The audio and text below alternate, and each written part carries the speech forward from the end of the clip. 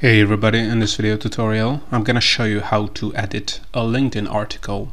So the great thing about LinkedIn articles is that once you have published them you can still edit them later and here's how to edit these articles on LinkedIn. So first we have to find the article we want to edit and we can find our articles by clicking on our account name then selecting view profile then scroll down on your account page and under activity you can select articles here then click on show all articles and then you want to select the article you want to edit.